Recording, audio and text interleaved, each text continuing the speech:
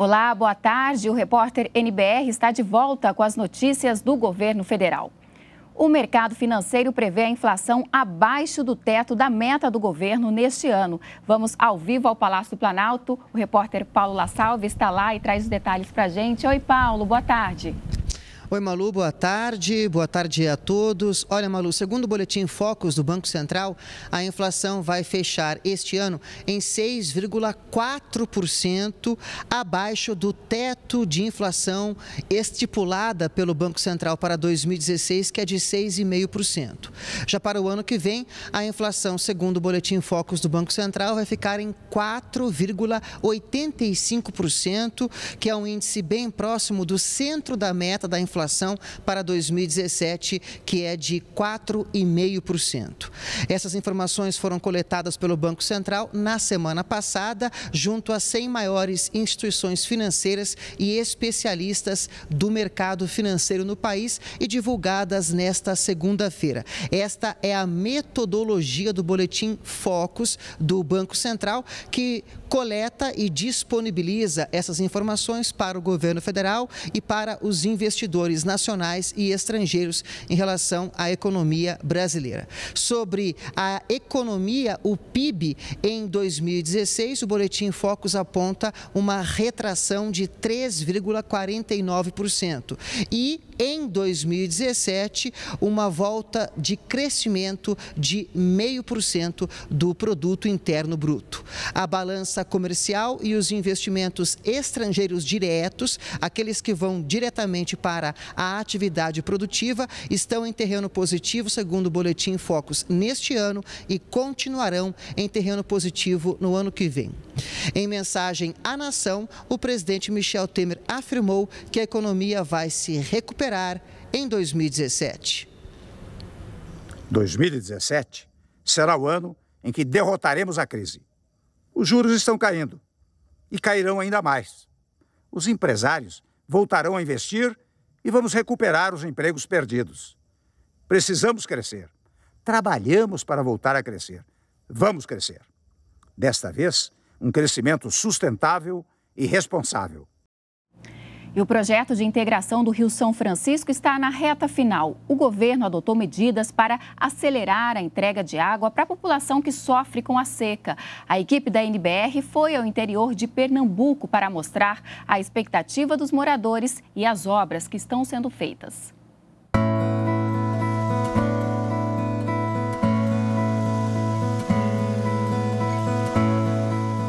Um rio que de tão grande, em breve vai alcançar além dos próprios limites.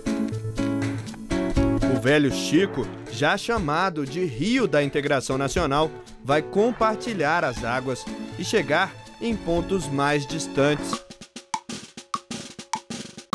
Uma parte dessa história começa aqui, perto de Cabrobó, no sertão pernambucano. Esse daqui é o ponto exato de captação do Rio São Francisco para o eixo norte do projeto de integração.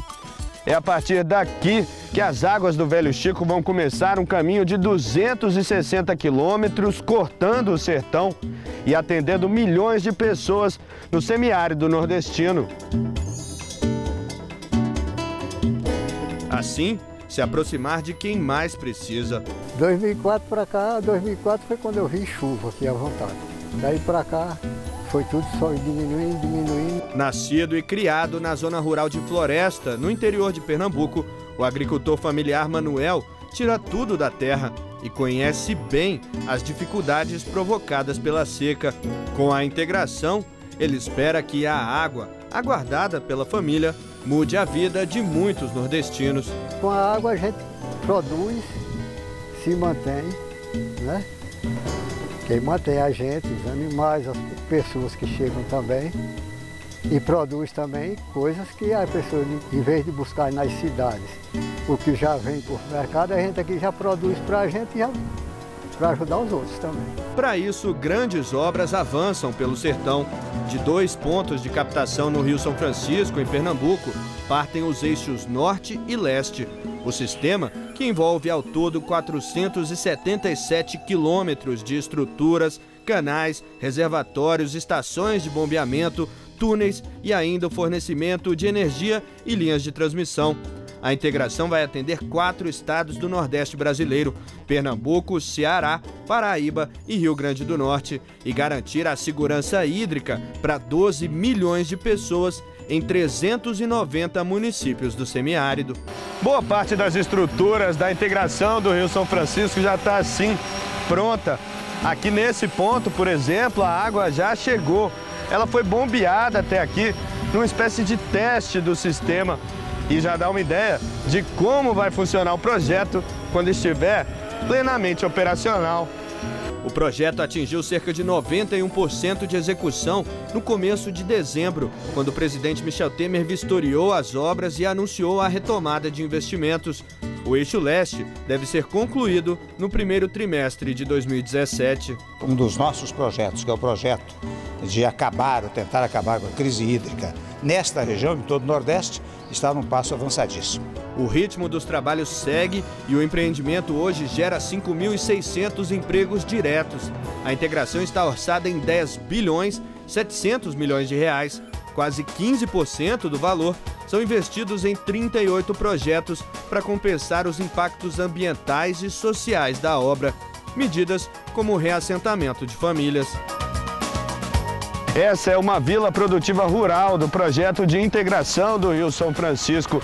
Ela foi criada para reassentar famílias que deixaram os locais onde moravam por conta das obras, como uma contrapartida socioambiental do projeto. Aqui, os moradores foram realocados, indenizados e em breve vão ter acesso às águas do Rio São Francisco para consumir e também para produzir. Assim como essa, existem outras 17 vilas espalhadas por três estados do Nordeste. Na vila de Uri, com o avanço das obras, a agricultora Marinelma e o marido Marcos Aurélio foram reassentados. Com o apoio do governo, na nova propriedade eles reorganizaram a produção, que tem dado bons frutos, verduras, grãos. Agora, a esperança é que, assim como a integração do Rio São Francisco já se tornou uma realidade por aqui, com a chegada das águas, logo seja também a de muitos sertanejos. Aqui o maior problema é a água, como hoje né, a gente tem uma seca que abrange mesmo todo, não é só aqui, essa região, mas com essa chegada da água vai melhorar bastante. Muita gente, sem contar também com o emprego que vai ter, né, que já está tendo também agora, só trouxe melhorias.